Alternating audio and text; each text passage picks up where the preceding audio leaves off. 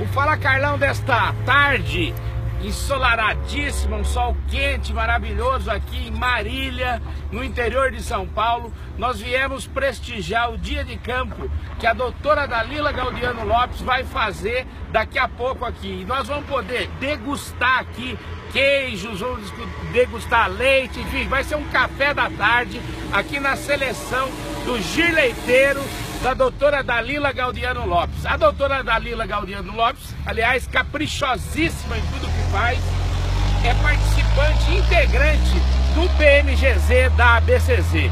E hoje a gente vai conhecer aqui um pouco desse trabalho maravilhoso que a doutora Dalila tem desenvolvido. Ela que é participante, enfim, de todas as políticas a respeito da, do, do gileiteiro, uma advogada atuante, uma criadora sensível e hoje recebe aqui alguns convidados, alguns amigos, dentre os quais, inclusive, o nosso candidato a presidente da ABCZ, o Fred Mendes.